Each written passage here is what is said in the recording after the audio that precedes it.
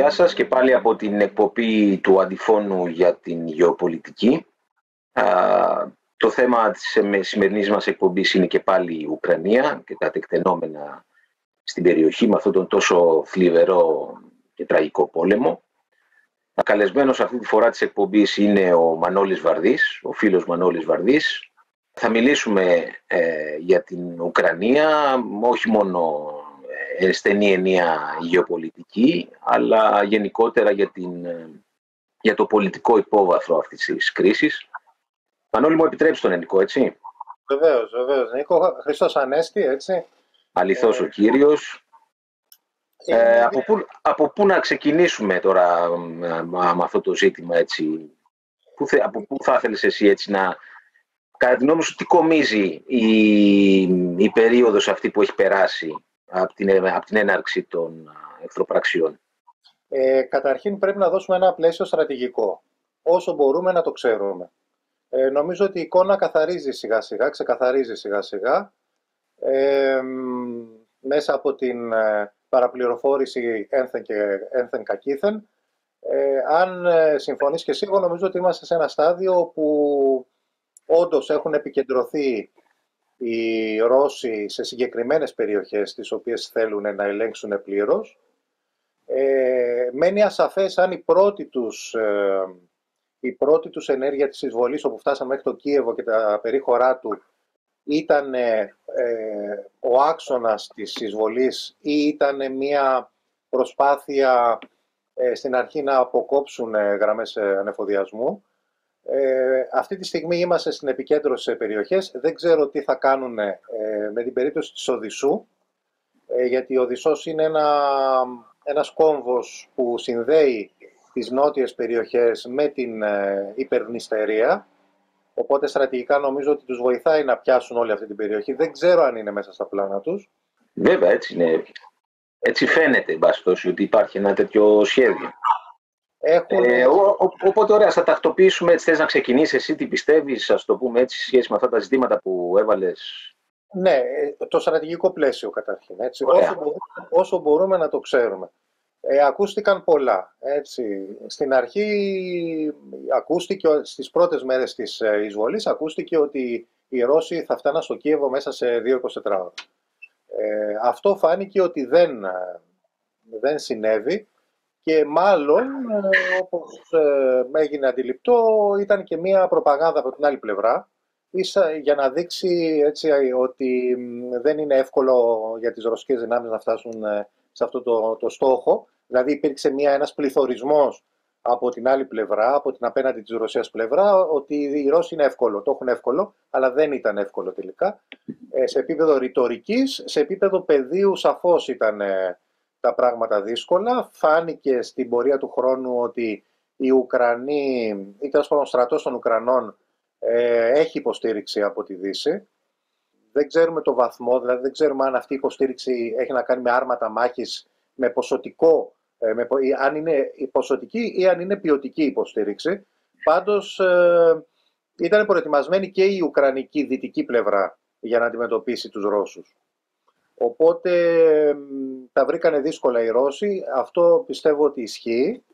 Παρ' όλα αυτά πιστεύω ότι αργά ή γρήγορα θα τους συγκεκριμένους στόχους που έχουν βάλει θα τους ε, κατακτήσουν. Το ερώτημα το δεύτερο είναι αν μπορούν να τους κρατήσουν. Έτσι. Γιατί Πολύ σωστό.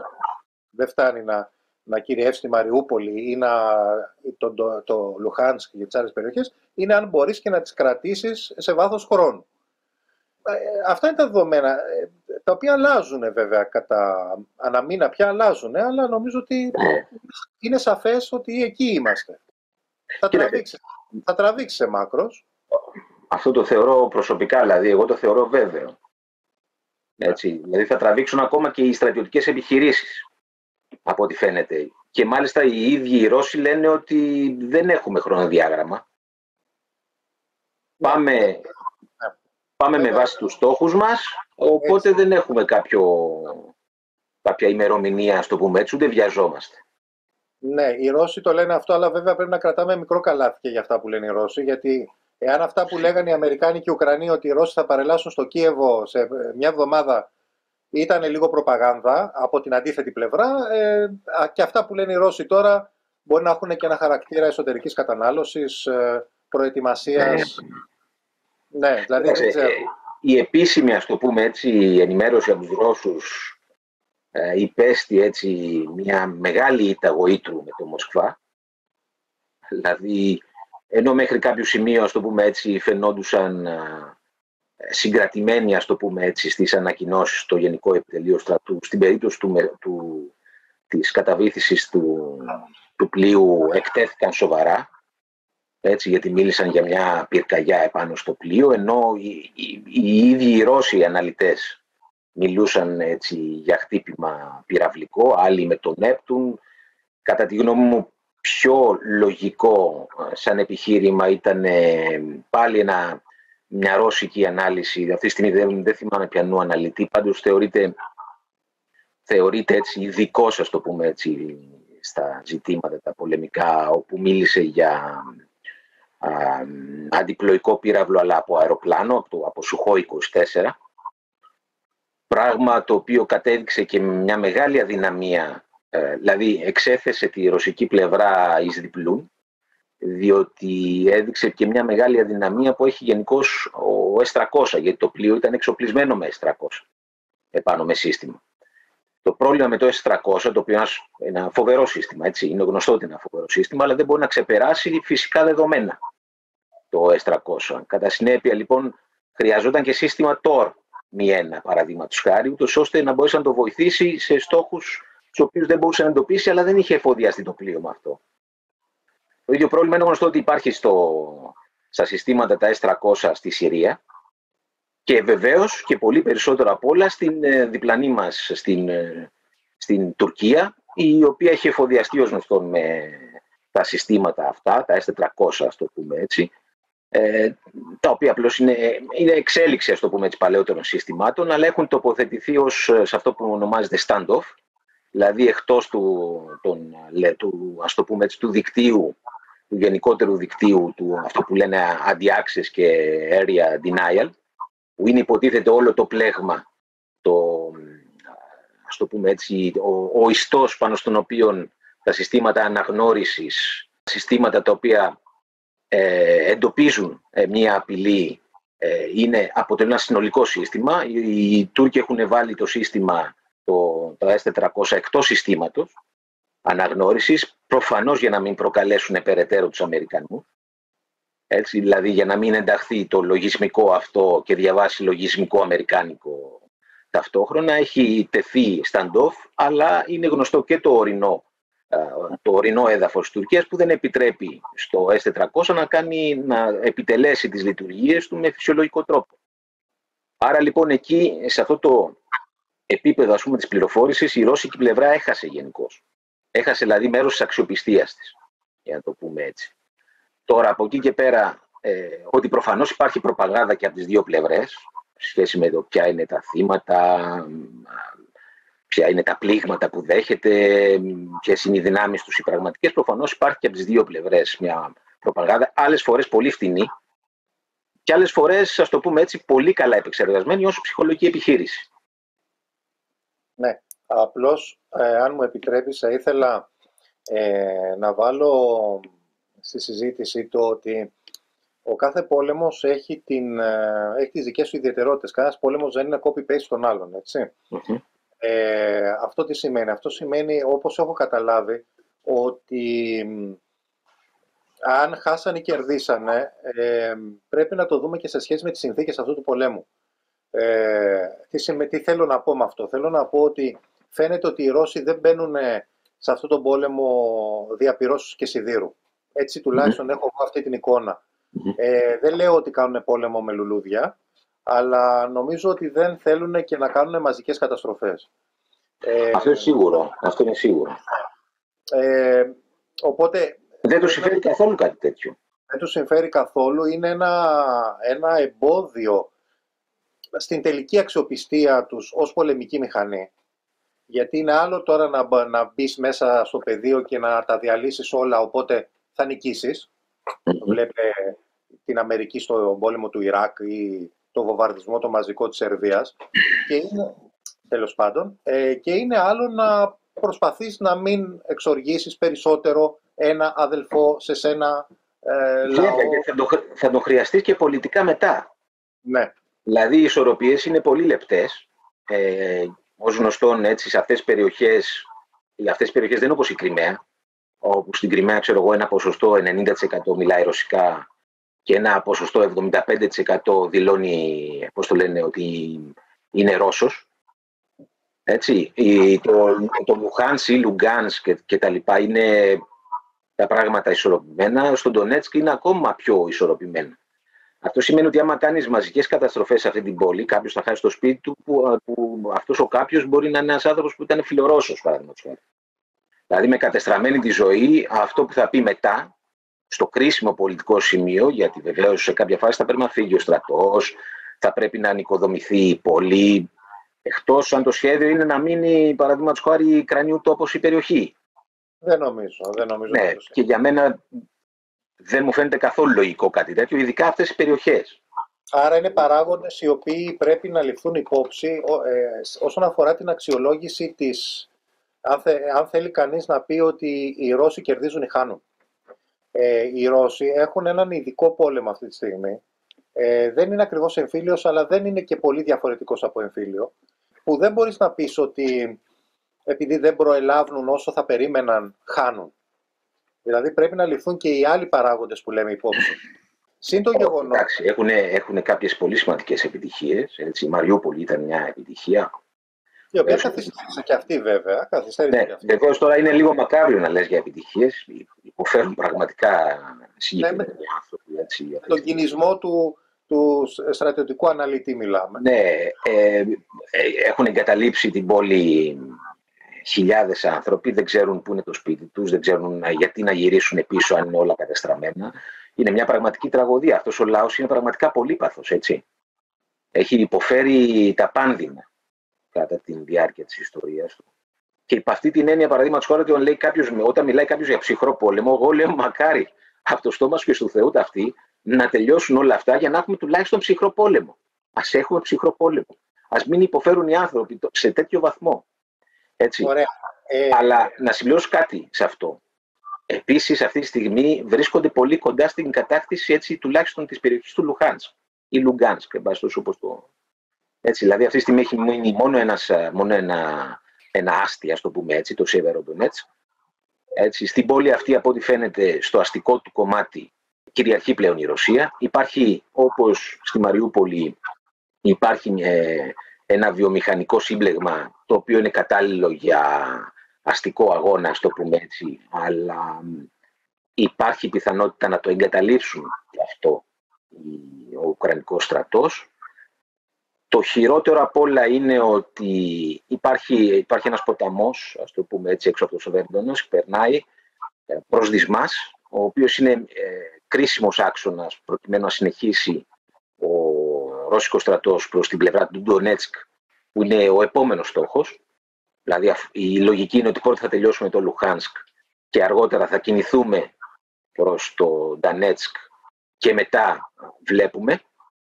Οι, οι, από ό,τι φαίνονται οι κρανικές δυνάμεις αρχίζουν να περικυκλώνονται ακόμα και σε αυτή την περιοχή και μιλάμε για, ένα, για μια ποσότητα περίπου 20.000 στρατιωτών στην περιοχή. Πιθανότατα να υποχωρήσουν ακόμα περισσότερο και να προχωρήσουν σε θέσεις ε, που θα υπερασπίζονται πλέον την περιοχή του Ντονέτσκ. Δηλαδή, στην ουσία το Λουχάνσκ φαίνεται να ανήκει στο βαθμό, ας το πούμε έτσι, που μπορεί να ανήκει ε, στους Ρώσους. Αυτό ήθελα να συμπληρώσω. Συγγνώμη που σε διέκοψα.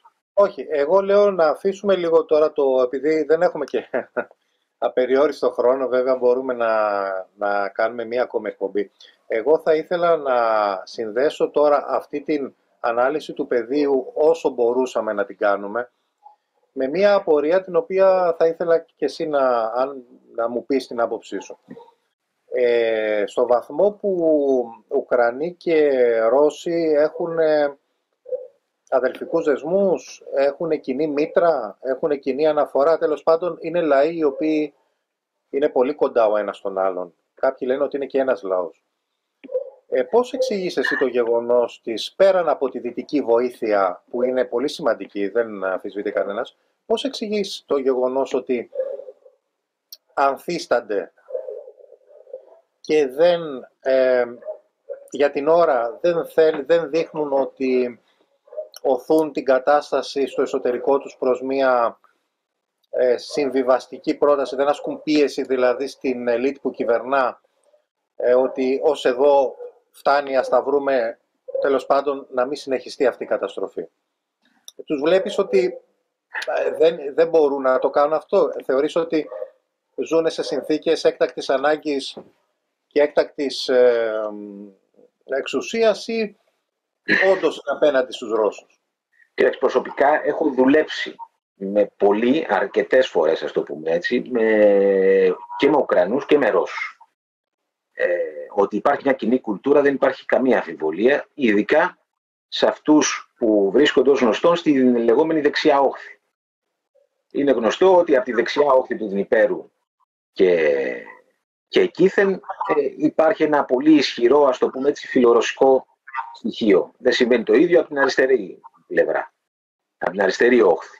Όπου για λόγους ιστορικούς, οπωσδήποτε, λόγω της γυτνίασης αλλά και της ύπαρξης έτσι, άλλων λαών στο εσωτερικό, στη τελική ανάλυση αυτό σε κάποια φάση ε, στην αριστερή όχθη πήγε να εφαρμοστεί κατά κάποιο τρόπο και ένα πρωτό, πρότυπο αυτόνομο κράτος της ε, Ουκρανίας σε συνύπαρξη με τους Λιθουανούς και τους Πολωνούς ε, υπάρχει βεβαίως και το θρησκευτικό στοιχείο έτσι, της ουνίας, του καθολικισμού και όλα αυτά που άνθησε στη Γαλλικία ή στην Πολυνία.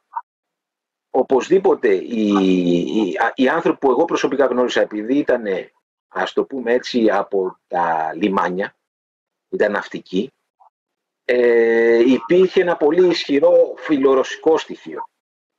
Οι πιο πολλοί μιλούσαν έτσι οπωσδήποτε ρωσικά, είναι σαφές ότι μιλάνε ρωσικά. Αυτό δεν σημαίνει απαραίτητα ότι ένας άνθρωπος που μιλάει ρωσικά δεν έχει κατά κάποιο τρόπο μία πίστη στην αυτονομία της Ουκρανίας, στη δυνατότητά της κατά κάποιο τρόπο να παίρνει τις δικές της αποφάσεις. Έτσι μου είχε εξηγήσει και ένας, ένας άνθρωπος που, που δήλωνε φύλλα προσκύμενος στους Ρώσους, που δεν ένιωθε καμία εχθρότητα προς τους Ρώσους, αλλά μου λέει ότι προσωπικά θα ήθελα την, τις αποφάσεις, ας το πούμε έτσι, για το μέλλον μας, να τις παίρνουμε εμείς στην περιοχή της Ουκρανίας. Υπάρχει και, και αυτό, έτσι. Υπά, γνώρισα και ανθρώπους που είναι εντελώς, θεωρούν τον εαυτό τους εντελώς Ρώσους. Ναι. Άρα υπάρχει, υπάρχει οπωσδήποτε εκεί πέρα μία ισορροπία, θα λέει κανείς τρόμου. Ναι, ε, βέβαια, εγώ δεν πείθομαι. Δηλαδή, ε, θέλω να σου πω ότι όταν καίγεται το σπίτι σου, όταν ε, σκοτώνονται άνθρωποι, παιδιά, όταν πρέπει να εγκαταλείψεις τις πατρογονικές αιστείες, ένα αντεπιχείρημα ότι εγώ πρέπει να πάρω τις αποφάσεις για τον τόπο μου. Είναι λίγο ανισοβαρές. Δηλαδή.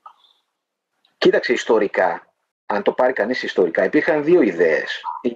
Υπήρχε η ιδέα του Λένιν, παραδείγματος χάρη, και του Στάλιν. Η ιδέα του Λένιν ήταν αυτονομία εκτός Σοβιετικής Ένωσης. Η ιδέα του Στάλιν ήταν αυτονομία εντός Σοβιετικής Ένωσης. Ναι, δηλαδή το... Τι τους κινεί το μέσο Ουκρανό, το μέσο Ουκρανό που δεν είναι ούτε Ουνίτης, ούτε, είναι, ούτε ζει στο Λβίβ, που είναι ρωσόφωνος, που έχει ναι. μία σχετική συμπάθεια με τη Ρωσία και ο οποίος δεν υποδέχεται ως απελευθερωτές τους Ρώσους. Τουλάχιστον δεν έχουμε κάποια τέτοια στοιχεία. Αυτό, κοίταξε, αυτό είναι σίγουρο ότι υπάρχουν κάποιοι οι οποίοι προφανώς είναι εντελώς εχθρικοί προς τους Ρώσους, ειδικά μάλιστα όταν εισβάλλουν ή ειδικά μάλιστα όταν παραδείγματος χάρη τίθεται ζήτημα ενίσχυσης αυτονομιστών στην περιοχή, γιατί και αυτοί οι αυτονομιστές λέγονται. Δηλαδή η δημοκρατία του Λουχάνσκ και η δημοκρατία του Ντανέτσκ αυτονομιστές ονομάζονται. Έτσι δεν είναι. Στην αρχή, παραδείγματος χάρη, η Ρωσία αναγνώρισε μια μορφή αυτονομίας. Και αυτό που παίζεται αυτή τη στιγμή είναι όντως αν αυτές οι περιοχές θα προσαρτηθούν ως μέρη της ε, Ρωσίας, όπως η Κρυμαία, ή θα παραμείνουν σε μια μορφή αυτονομίας. Ναι, Νίκο, Άρα υπάρχει ένα θέμα αυτονομίας της συγκεκριμένης περιοχής με τον ιδιαίτερο της χαρακτήρα. Αν μου επιτρέπεις, θέλω λίγο να το επικεντρώσω, διότι θεωρώ ότι είναι πάρα πολύ σημαντικό σε ιδεολογικό επίπεδο και καθορίζει πάρα πολύ, αν μπορέσουμε να το δούμε, καθορίζει πάρα πολύ και την ε, στάση όλων των παραγόντων σε αυτόν τον πόλεμο. Υπάρχει, δηλαδή, για να το πω αλλιώς, αυτό το οποίο ρωτάω, υπάρχει η ατζέντα των Δυτικών, όχι, κυρίως, όχι τόσο των Αμερικανών, οι οποίοι Αμερικάνοι είναι ε, στο δικό τους κόσμο, κυρίως των Ευρωπαίων και της ελληνικής ε, ε, κυβερνώσας κατάστασης. Υπάρχει η ατζέντα ότι υπερασπιζόμαστε τη φιλελεύθερη δημοκρατία και τα αστικά ιδεώδη, τα ναι. οποία κατα, καταπατώνται βάναυσα από τον ε, ανατολι, ανατολίτικο, ανατολικό δεσποτισμό, παύλα αυταρχισμό. Ναι. Οπότε, ο λόγος για τον οποίο οι Ουκρανοί, αν και ρωσόφωνοι, αν και φιλορώσοι, πέφτουν στη μάχη εναντίον των Ρώσων εισβολέων, είναι ότι επιλέγουν βαθιά υπαρξιακά το δυτικό μοντέλο δημοκρατίας σε σχέση με το ανατολικό, το οποίο το θεωρούν ότι είναι δεσποτικό. Αυτή, ναι. είναι, η ατζέντα, αυτή είναι η ατζέντα, αν έχεις προσέξει, κακά τα ψέματα και της Ευρωπαϊκής Ένωσης και φυσικά και της Ελλάδας. Οι Αμερικάνοι δεν μπαίνουν σε τέτοια θέματα, αλλά η ατζέντα της Ευρωπαϊκής Ένωσης είναι αυτή. Γι' αυτό ρωτώ λοιπόν, τι κατά τη γνώμη σου είναι αυτό που κινεί την αντιρωσική στάση; Είναι μία πίστη στα δυτικά ιδεώδη ότι όπα μη μας καταλάβετε γιατί θα γίνουμε κι εμείς ε, μία κατάσταση Λευκορωσίας; Ή ναι. Μ, μήπως είναι... Ναι, είναι και αυτό. Είναι, και, αυτό. Είναι και αυτό, οπωσδήποτε. Αλλά όπως και να το κάνεις, υπάρχουν, όπως και στην Ελλάδα υπάρχουν, υπάρχει ένα σημαντικό μέρος της ελληνικής κοινωνίας που βλέπει με κάποιο τρόπο, ας το πούμε έτσι, σχεδόν ουτοπικό την έννοια του, του, της Ευρώπης και της ευρωπαϊκής ταυτότητας. Δηλαδή βλέπει με αντίστοιχο τρόπο ότι κάθε εναλλακτική λύση σε σχέση με την Ευρώπη είναι παραδείγματος χάρη μια επιλογή που μας φέρνει πίσω σε ένα ανατολικό παρελθόν, οπότε μας φέρνει πίσω στις κακές μας συνήθειες, στη ρίζα της κακοδαιμονίας μας, οπότε υπάρχει μόνο μία πλευρά, η ευρωπαϊκή. Πράγμα που για μένα, να πω την αλήθεια, αν, αν σκεφτεί κανείς ότι δεν, στην Ελλάδα δεν υπήρξε αυτό που λέμε ποτέ Ανατολικό κόμμα. Δηλαδή λέμε ότι είμαστε Ανατολίτες και τα λοιπά. Και ξέρουμε και τον Κιτσίκη, ο οποίος μίλαγε για ένα Ανατολικό κόμμα. Αλλά εγώ προσωπικά δεν ξέρω κανένα κόμμα το οποίο να έλεγε ότι, ας πούμε, παραδείγματος χάρη, η λύση είναι η Ανατολή. Ε, αυτό ούτε στον εμφύλιο δεν είναι. Ούτε ναι, στο... αλλά ακόμα, ακόμα, και κομμουν... ακόμα και ο κομμουνιστής που ήταν με τη Σοβιετική Ένωση, η Σοβιετική Ένωση είχε τη λογική και πάλι των νέων χρόνων. Δηλαδή ήταν μια μορφή εξυγχρονισμού, ακόμα και η Σοβιετική Ένωση.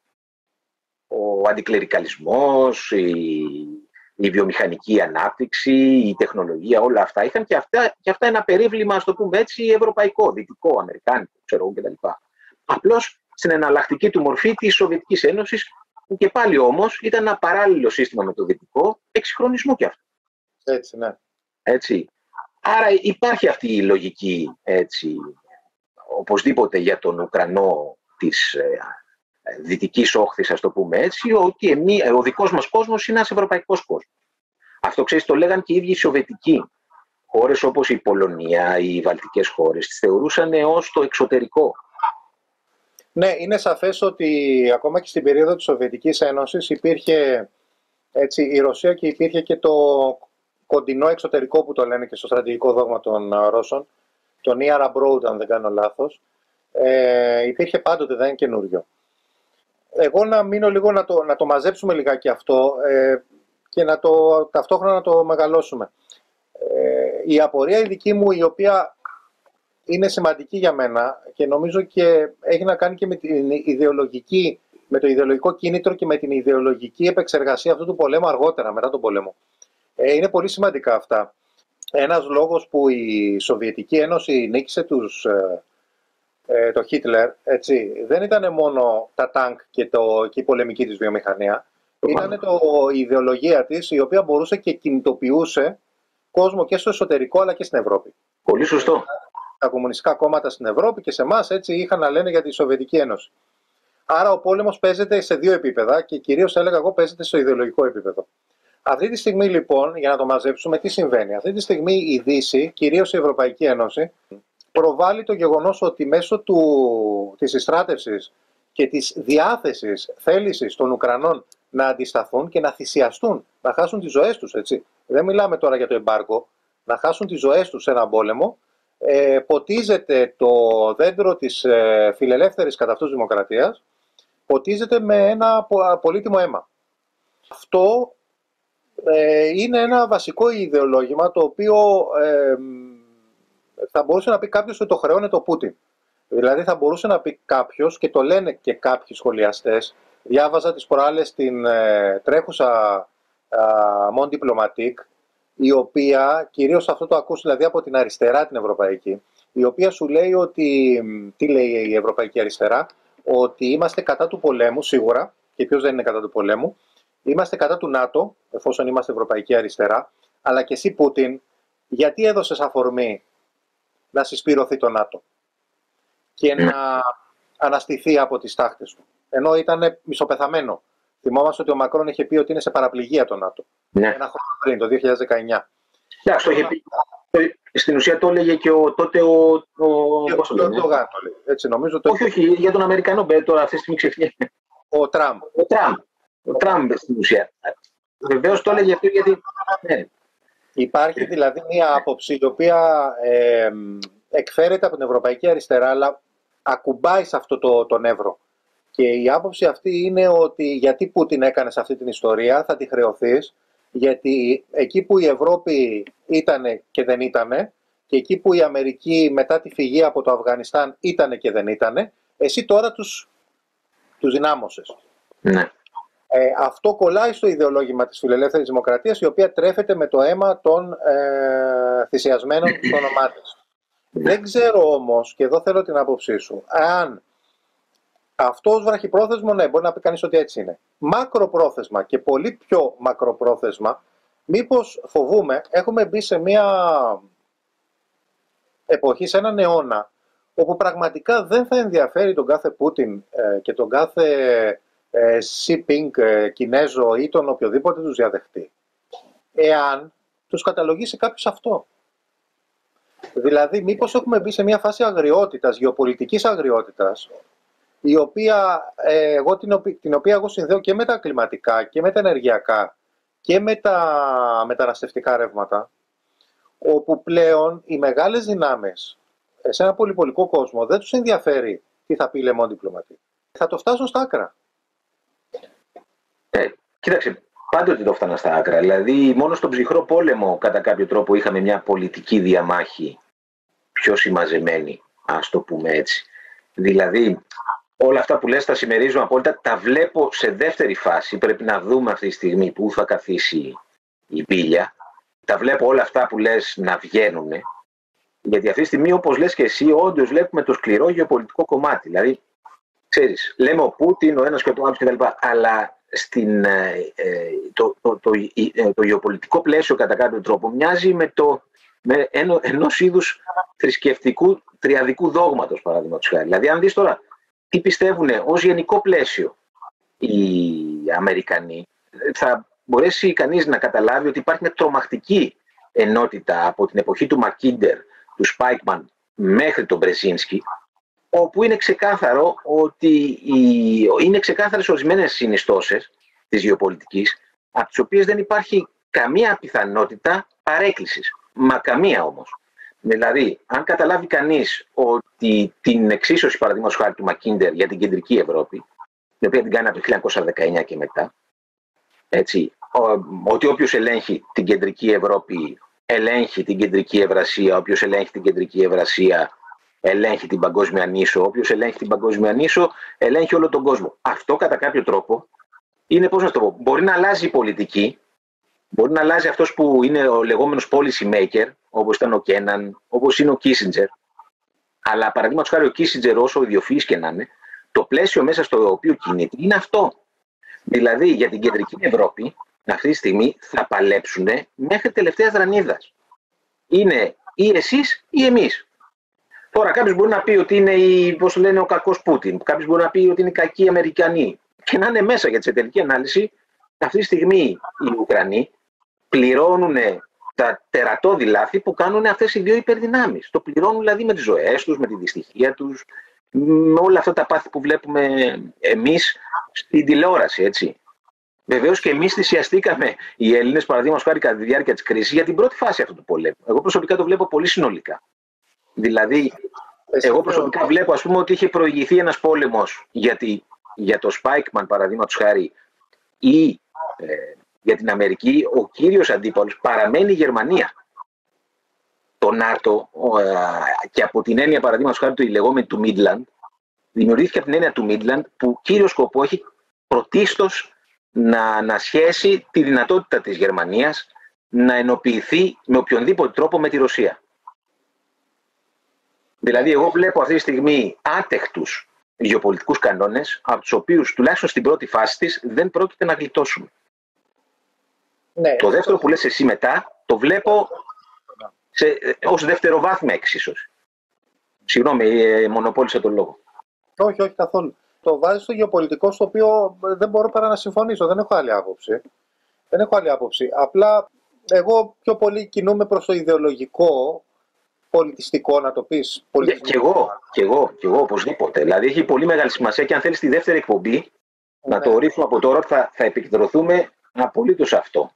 Δηλαδή αναρωτιέμαι, πραγματικά, ε, αναρωτιέμαι ναι. πραγματικά, γι' αυτό σε ρώτησα, επειδή έχεις δουλέψει με τους Ουκρανούς, εγώ δεν τους ξέρω.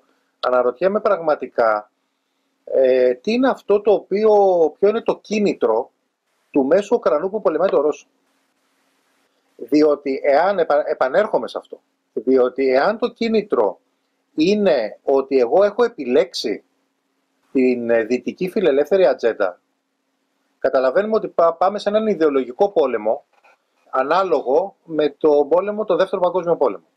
Έτσι. Ναι.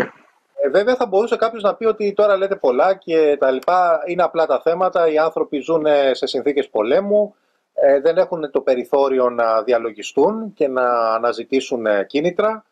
Ε, μπήκε κάποιος στο χωριό τους, ε, θα τον πολεμήσουν και το ένα και το άλλο. Δηλαδή μπορεί να είναι πολύ πιο απλά τα πράγματα από αυτό που φανταζόμαστε. Σίγουρα υπάρχουν και προσωπικά πάθη, παραδείγματος χάρη, τα οποία, άμα είναι ο άλλος στο χωριό, ξέρουν πολύ καλά ότι δεν είναι. Μπορεί να έχει το προσωπικό του πάθος απέναντι στο γείτονά του, ο οποίος είναι ξέρω, ο φιλορώσος. Ο φιλορώσος να έχει το πρόβλημα. Εγώ προσωπικά δεν, αυτό δεν μπορώ να το πω. Υπό την έννοια ότι δεν μπορώ να ξέρω τι είναι αυτό όντως που οθεί. Εγώ τους ρωτούσα τους ανθρώπους. Ρωτούσα και Ρώσους της Ρωσίας, γιατί έχω δουλέψει και με Ρώσους από τη Ρωσία και με Ουκρανούς, ε, αλλά κυρίως οι Ουκρανοί με τους οποίους εγώ μιλούσα ήταν αυτή της θάλασσας. Ναι. Ήταν δηλαδή της πλευράς, ας το πούμε έτσι, που κατά κάποιο τρόπο, ξέρεις, στην ανάλυση παραδείγματος χάρη της Ουκρανικής κοινωνιολογίας και ιστορίας, υπάρχει μια διάκριση χοντρική με, αλλά σωστή. Δηλαδή ότι οι Ουκρανοί κατά βάση έχουν καταγωγή αγροτική. Και ότι πάντοτε τα αστικά κέντρα, όχι σήμερα, αλλά και κατά τη διάρκεια της Σοβιετικής Ένωσης, τα αστικά κέντρα κατά βάση ήταν ρωσοκρατούμενα. Οπότε οι Ουκρανοί κατά κάποιο τρόπο ήταν οι άνθρωποι οι οποίοι θεωρούνταν οι χωριάτες. Τα Ουκρανικά ήταν τα χωριάτικα. Όποιος μιλούσε Ουκρανικά ήταν αυτό που εμείς λέμε εντός εισαγωγικών, εντελώς άδικα βέβαια, ως ε, βλάχικα, ας πούμε. Ως, πώς λέμε, είναι βλάχος κτλ. Χωριάτη, αγρότης, άξεστο. Δηλαδή ήταν, ήταν πληθυσμοί δευτέρας κατηγορίας, κατά κάποιο τρόπο. Δεν είναι τυχαίο, παραδείγματος χάρη, ξέρεις, οι μεγάλοι ιστορικοί που, που έθεσαν και το ιστορικό ζήτημα από το 70 και μετά, οι Ουκρανοί που διδάσκαν στα, Ουκρανικά, στα Αμερικάνικα πανεπιστήμια, όπως ο Σμπόρσλου, κάπως έτσι είναι ο γνωστός ιστορικός, ο οποίος έλεγε, στην ουσία δίδασκε στην Αμερική, έτσι. Ε, έλεγε ότι το μεγάλο σύστημα, ε, στίχημα της Σοβιετικής Ένωσης ήταν ακριβώς το Ντανέτσκ. Δηλαδή το Ντανέτσκ ήταν το επίκεντρο της πολιτικής αφομοίωσης του Ουκρανού από τον Ρώσο ή Σοβιετικό ή όπως θέλεις το λες. Γιατί, Γιατί ήταν ένα αστικό κέντρο στο οποίο κατά κάποιο τρόπο οι κομμουνιστές είχαν επικρατήσει με τα πιο αστικά, ας το πούμε, στοιχεία της εργατικής τάξης. Οπότε η βιομηχανική ανάπτυξη σε αυτές τις περιοχές μπορούσε να φέρει κόσμο μέσα στις πόλεις. Η είσοδος των αγροτών μέσα στην πόλη η, ε, ε, ε, θεωρείται ότι κατά κάποιο τρόπο μπορούσε να οδηγήσει σε μια αφομοίωση του ουκρανικού στοιχείου. Ναι. Βεβαίως σήμερα δεν μπορούμε να μιλήσουμε ακριβώς γι' αυτό, γιατί τα αστικά κέντρα, παραδείγματος χάρη, είναι, είναι και ουκρανικά, είναι και ουκρανοί μέσα στα αστικά κέντρα. Υπάρχει μια παράδοση. Εγώ θυμάμαι αμέσως αμέσως ε, ότι στην Ουκρανία είχαμε και, τη, και τους Λευκούς που ε, με τη βοήθεια των ε, Δυτικών τότε πολεμούσαν τους Μπολσεβίκους. Στην Ουκρανία είχαμε το πεδίο που δραστηριοποιεί το Μάχνο και η αναρχική του. Ε, στην Ουκρανία είχαμε διάφορες εθνότητες και Έλληνες βέβαια ακόμα. Δηλαδή ήταν το μαλακό υπογάστριο της ε, Ρωσίας. Δεν μπορώ να αποκλείσω το γεγονός ότι και ο περιβόητος λοιμός, ε, ο οποίος προκλήθηκε επί Στάλιν, είχε και μια, είχε και μια στόχευση πέραν των άλλων ε, σε αυτό που λες εσύ, δηλαδή στην αγροτιά η οποία στέκεται απέναντι στην αστική τάξη που ήταν η μπολσεβίκικη τάξη της ε, κεντρικής Ρωσίας. Οπότε υπάρχει ένα ιστορικό προηγούμενο το οποίο δεν το ξέρουμε καλά και ίσως κάποιος που ξέρει πολύ καλά την Ουκρανική ιστορία και την ψυχοσύνθεση, την ιστορική ψυχοσύνθεση, να μπορούσε να πει ότι παιδιά αυτά που σας φαίνονται περίεργα Πώ οι Ουκρανοί πολεμάνε τους Ρώσους. Σας φαίνεται περίεργο γιατί δεν ξέρετε τους Ουκρανούς. Προφανώς. Μα έτσι είναι. Δηλαδή δεν, δεν, το ξέρω αυτό. Και εγώ ιστορία διαβάζω. Δηλαδή είναι σαφές ότι με, το, με τον περίφημο λοιμό το 31-32 τελειώνει και το λεγόμενο σύστημα, ζήτημα που είχε θέσει νομίζω το, ε, οι Σοβιετικοί το είχαν θέσει. Δεν θυμάμαι τώρα το συνέδριο, ήταν το 13ο ή το 23ο, δεν θυμάμαι τώρα αυτή τη στιγμή συνέδριο των, ε, των Σοβιετικών, που είχε θέσει το λεγόμενο σύστημα της καρενιζάτσια. Καρενιζάτσια σήμαινε επιστροφή στις ρίζες. Δηλαδή η πρώτη αρχική φάση, φάση της αντιμετώπισης των Σοβιετικών του εθνικού ζητήματος ήταν μια μορφή ανάπτυξης κατά κάποιο τρόπο της εθνικής ταυτοπροσωπείας.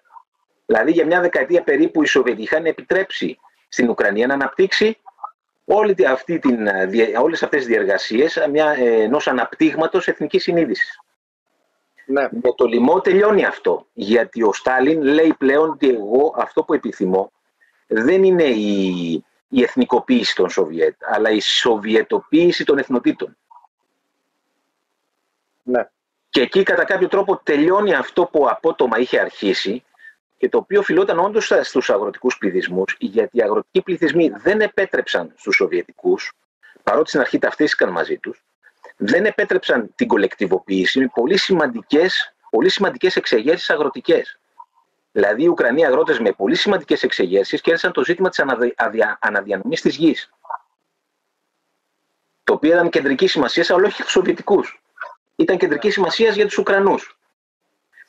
Όλα αυτά τώρα είναι ιστορικά ζητήματα που όντως αξίζει κανείς να τα, να τα αναλύσει. Ένα άλλο σημαντικό, ας πούμε, σε σχέση με αυτό που είπες. Κοίταξε, η Ανατολική Όχθη προς τη Ρωσία. Μην ξεχνάς ότι ήταν εξ αρχής με, τους, ε, με τη Σοβιετική Ένωση. Ήταν η πρώτη μορφή της Σοβιετικής Ένωσης. Δεν σημαίνει το ίδιο με τη Δυτική. Ναι, η Δυτική ήταν, ανήκε στους Πολωνούς. Έτσι, για δεκαετίες. Δεν είναι τυχαίο ότι οι Ρώσοι σαν στρατηγική επιλέγουν ακριβώς τη λεγόμενη αποναζιστικοποίηση.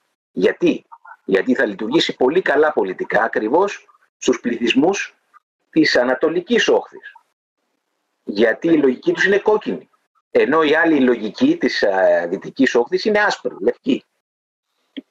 Εδώ πέρα νομίζω ότι μπορούμε να ανοίξουμε, δεν, έχω, δεν ξέρω αν έχουμε το χρόνο, είναι μια μεγάλη κουβέντα, αλλά μιλώντας οδηγούμε και σε κάποιες δεύτερες σκέψεις. Εάν συγκρίνουμε την περίπτωση της Γιουγκοσλαβίας με την περίπτωση της Ουκρανίας, το Γιουγκοσλαβικό με το Ουκρανικό, έχουμε ε, πάλι παρεμβάσεις των Δυτικών, θεωρώ ότι είναι η ίδια η παρέμβαση. Ίσως στην Ουκρανία είναι πιο έντονη, αλλά νομίζω ότι και στη Γιουγκοσλαβία ήταν η παρέμβαση πολύ έντονη. Αλλά στη Γιουγκοσλαβία αυτοί κάναν την επίθεση, εντάξει. Έτσι, οκ. Okay. Βρίσκω πολλές ομοιότητες σαν ε, γεωπολιτικά προβλήματα. Είναι σε κομβικά σημεία και οι δύο χώρες. Ήταν ε, η μετάπτωση από ένα καθεστώς ομοσπονδιακό σε ένα τι, σε ένα εθνικό, κρατικό και με τα, με τα ιστορικά προβλήματα που είχαν, οι Κροάτες με τους Σέρβους κτλ. κτλ. Ε, πού θέλω να καταλήξω, γιατί θέλω να το συνδέσω με, με την ιδεολογία που λέγαμε ως μοντέλο πολιτικής για το μέλλον. Τι θέλω να πω. Ας δούμε λίγο την Ιουκοσλαβία και τον πόλεμο στην, ε, και το βομβαρδισμό του Βελιγραδίου. Καλά, όχι τη συμφωνία του Ντέιτον τόσο, γιατί αφορά τη Βοσνία η οποία ούτως ή άλλως είχε θέματα, αλλά κυρίως με το Κόσοβο, έτσι. Και γενικά όλο το γεωπολιτικό ιστό ε, θα δούμε ότι έχουν περάσει αρκετά χρόνια από τότε. Και αν κοιτάξει κανείς και τις επιστημονικές αναλύσεις, ε, βλέπει ότι υπάρχει πρόβλημα και από την ευρωπαϊκή ακόμα πλευρά στο να μπορέσουν να καταλάβουν τι συνέβη μετά από τόσα χρόνια στην Ιγκοσλαβία. Λέμε ότι, ωραία, μιλάμε για το μεγάλο σερβικό ιδεατισμό, για το σερβικό μεγάλο ιδεατισμό, για το ένα για το άλλο. Έχουμε όμως ένα πολυπολιτισμικό με τους δικούς του όρους μοντέλο, το οποίο θράβεται, υφίσταται φοβερή πίεση, για να καταλήξουμε σε, αυτή την, ε, σε αυτά τα διάδοχα κράτη της ενιαίας Ιουγκοσλαβίας. Τα οποία τι κομίζουν, δηλαδή αυτά τα κράτη μετά από τόσα χρόνια και με προσ, προσχώρηση στην Ευρωπαϊκή Ένωση, τέλος με συμφωνίες σύνδεσης με την Ευρωπαϊκή Ένωση. Έχουν εφαρμόσει την φιλελεύθερη, παύλα, δημοκρατική φιλελεύθερη δυτική ατζέντα; Ακόμα, ακόμα και αυτό, αν το μελετήσεις στα papers που γράφουν δυτικοί, δεν το αναγνωρίζουν. Σου λένε ότι όχι, δεν έχει εφαρμοστεί αυτή η ατζέντα.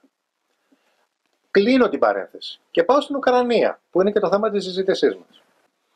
Εάν η ιδεολογική ατζέντα των Δυτικών είναι ότι εμείς χτυπάμε τον εισβολέα, τον δεσποτικό Ταμερλάνο, ξέρω εγώ που είναι ο Πούτιν, προβάλλοντας τα ιδιότητα της δημοκρατίας, θα μπορούσε ο Πούτιν να τους πει ότι παιδιά, ναι, στη Ιουγκοσλαβία μετά από τρεις δεκαετίες, ποια είναι τα αποτελέσματα της μετά, το μετά τον πόλεμο ε, συνεισφοράς σας; Δηλαδή, ποια δημοκρατική ατζέντα εφαρμόσατε, εφαρμόζεται στα διάδοχα κράτη της, της ενιαίας Ιουγκοσλαβίας. Εννοείται την κλεπτοκρατία, εννοείται μια κατάσταση Μαυροβουνίου που είναι ξέπλυμα χρήματος, εννοείται το Κόσοβο που, έχει, που φεύγουν οι Αλβανοί και περνάνε μέσα από τη Σερβία πια για να φύγουνε; Τι ακριβώς εννοείται; Ποιο είναι το μοντέλο της δημοκρατίας, το Ιουγκοσλαβικό που θέλετε να εφαρμόσετε; Οπότε εδώ πέρα έρχομαι να, να, να πω αυτό που λέγαμε πριν, ότι μπορεί να χρεώνεται ο Πούτιν και από την Ευρωπαϊκή Αριστερά το ότι ε, ε, όθησε τα πράγματα σε μια όξυνση η οποία τον χρεώνει, αλλά σε ένα πιο δεύτερο επίπεδο, πιο μακρινό επίπεδο, θα μπορούσε να πει και ο Ρώσος και θα το πει. Και θα το πει ακόμα περισσότερο και ο Κινέζος. Ότι κύριοι, τι προτείνετε εσείς, το μοντέλο του Κωσόβου; Ναι. Ναι, κοίταξε, εδώ υπάρχει ένα, υπάρχει ένα μεγάλο ερώτημα. Εδώ. Καταρχήν, κατά πόσο η, η, όντως η Ανατολή έχει ένα φιλελεύθερο μοντέλο διακυβέρνησης; Δεν έχει, λέμε. Ναι, κατά πόσο είναι δυνατό κάτι τέτοιο επίσης να αναπτυχθεί; Και κατά πόσο, δηλαδή υπάρχουν δύο θεωρήσεις κατά τη γνώμη μου. Η μία είναι φιλελεύθερη, θεώρηση των πραγμάτων, έτσι, και η άλλη είναι μια θεώρηση κατά κάποιο τρόπο ε, στην περίπτωση της Ρωσίας είναι ο ευρασιατισμός, έτσι, ένα περίεργο κίνημα έτσι, το οποίο ξεκινάει από το 20 και φτάνει μέχρι το περίφημο Ντούγκιν, όπου η, η λογική είναι ακριβώς να είσαι άντικρις αντίθετος σε οποιαδήποτε λογική φιλελεύθερη. Δηλαδή ο μεγάλος εχθρός παραδείγματος χάρη του ευρασιανισμού είναι ο φιλελευθερισμός. Άρα εδώ υπάρχουν δύο αναλύσεις ε, οι οποίες τίθεται στην πλάστιγκα, προκειμένου κάποιος να προβλέψει πού μπορεί να καταλήξει αυτό. Ένας, ένας φιλελεύθερος, ένας άνθρωπος με κριτήριο φιλελεύθερο, εγώ προσωπικά θεωρώ τον, τον εαυτό μου φιλελεύθερο. Δηλαδή θεωρώ ότι κατά κάποιο τρόπο αν η Δύση γίνει φιλελεύθερη, γιατί αυτή τη στιγμή κατά την μου το μοντέλο που έχει οδεύει προς, προς ε, ε καταστάσεις οι οποίες δεν είναι φιλελεύθερες, αν η Δύση ξαναγίνει φιλελεύθερη, νομίζω ότι θα τον κερδίσει μακροπρόθεσμα αυτό τον πόλεμο. Όπως κέρδισε τον ψυχρό πόλεμο. Αν η Δύση συνεχίσει αυτή τη στιγμή, τώρα δεν είναι της ώρας να αναλύσουμε γιατί δεν είναι φιλελεύθερη αυτή τη στιγμή η Δύση. Ε, αν η Δύση ε, δεν μπορέσει να υιοθετήσει ε, φιλελεύθερη, μια φιλελεύθερη πολιτική όπως το παρελθόν, πιστεύω ότι αυτό τον πόλεμο θα το χάσει. Δηλαδή, στο περίφημο, ε, το λεγόμενο περίφημο Θουκυδίδιο δίλημα που έθεσε ο καθηγητής Άλισον, αλλά το έθεσε ανάμεσα στην Αμερική και την Κίνα, για μένα το Θουκυδίδιο δίλημα είναι ανάμεσα στη Ρωσία και στην Αμερική. Αν ακριβώς στον Πελοποννησιακό πόλεμο αυτός ο οποίος θα μπορούσε να κερδίσει ήταν ακριβώς η φιλελεύθερη Αθήνα, αλλά δεν το έκανε γιατί τελικώς αυτός ο οποίος υπονόμευσε και πρόδωσε τη δική του φιλελεύθερη παράδοση ήταν ακριβώς η Αθήνα. Αν λοιπόν την παράδοσή της στη φιλελεύθερη Δύση την προδώσει, τότε θα υποστεί τη μοίρα της Αθήνας. Θα χάσει δηλαδή. Δηλαδή για μένα, μακροπρόθεσμα, όλο το ζήτημα πάντοτε είναι πολιτικό. Αν το ζήτημα είναι ποιος είναι, ο, ποιο είναι το πολιτικό κριτήριο. Δηλαδή, για να φέρω ένα παράδειγμα, για τον Ντούγκιν, πολιτικό σημαίνει είναι ο πλατωνισμός, ο πολιτικός πλατωνισμός. Πολιτικό δηλαδή είναι να έχεις μια ιεραρχική κοινωνία. Για ένα δυτικό φιλελεύθερο, το να έχεις μια ιεραρχική κοινωνία είναι απολύτικο. είναι μια δομή απολύτικη. Ναι, ε, είσαι φιλελεύθερος. Το λες με τη δική σου οπτική. Εγώ έχω με τη δική Εγώ ναι. έχω μια άλλη οπτική. Νομίζω ότι ο, ο φιλε, οι φιλελεύθεροι δεν κάνουν πόλεμο και αν κάνουν πόλεμο μάλλον χάνουν. Ε, αλλά αυτό είναι μια δική μου άποψη. Ε, πάντως είναι μια τροφή σκέψης για να τη συζητήσουμε και στην επόμενη εκπομπή, έτσι, γιατί θα χρειαστεί. Ναι. Ε, Ήδη διανύσαμε την, το, το χρονικό διάστημα που έπρεπε να διανύσουμε και για την υπομονή του, του θεατή. Ο πόλεμος δεν θα τελειώσει. Δυστυχώς ο πόλεμος. Ας ελπίσουμε ότι θα, τουλάχιστον θα πάρει πιο ε, έτσι, πολιτικές πλευρές, ναι. φιλελεύθερες εγώ θα έλεγα, και ας γίνει τουλάχιστον ψυχρός και ας συγκρουστούν οι ιδεολογίες. Να γλιτώσει ο κόσμος από αυτό τον εφιάλτη. Και με αυτή την αποστροφή νομίζω ότι μπορούμε να κλείσουμε και ανανεώνοντας το, το επόμενό μας ραντεβού, έτσι. Ανανεώνουμε το ραντεβού μας. Ευχαριστώ, Σε ευχαριστώ πολύ, Μανώλη. Ευχαριστώ και εγώ, Νίκο. Γεια χαρά.